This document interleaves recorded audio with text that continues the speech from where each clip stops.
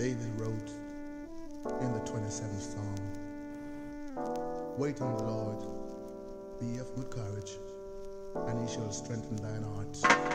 You know? I ain't gonna move until I get my